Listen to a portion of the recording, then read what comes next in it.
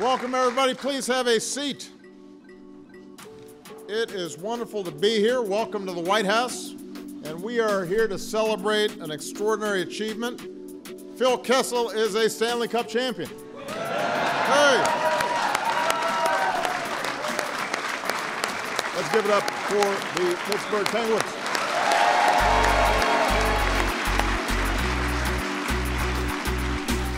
I remember texting guys during the last dance with Michael Jordan, like, Are you watching this? This is why there's cameras everywhere. Do you understand? Like, you know, and other guys texting me, like, We have to have the cameras around. I mean, like, there was so much stuff going on in those years, and being able to be a part of that, it was unreal. Those outdoor games, especially the one in Pittsburgh, that really stands out. That was one of my all time favorites. Fair around behind, left it there, wrap around by Cullen, in a second attempt. They score! Just hanging out in the football locker room before and walking around the stadium and just the atmosphere. I kind of felt like I'd seen it all, but I felt like a kid going through that experience. Now you're walking in and the whole crowd you goes, Dumo! That's what they're going to do. I've always wanted to do it.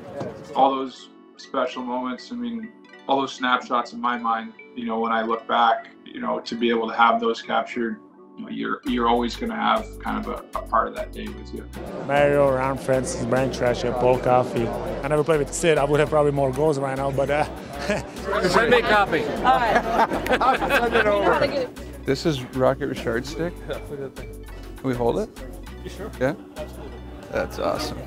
I mean, I could have stayed there for hours. I mean, there's so much history and so many things that you probably wouldn't have expected to have access to.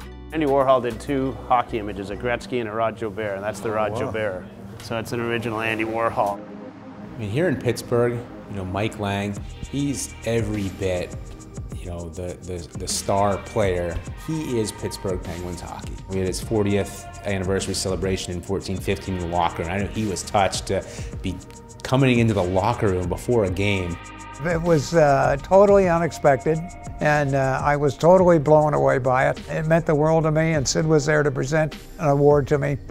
It was moving, uh, really moving as far as uh, a part of my career. It really was at that time. Those moments are obviously really, really cool. The one who stands out for me was Cully's 1500 game. And like you said, you're sitting there as a fan, and, and you're realize how many games that are. Love you, man. Love you. That's awesome. Just a really special day. I mean, that's that's how I look at it too. When I look back, you know, to my thousandth game.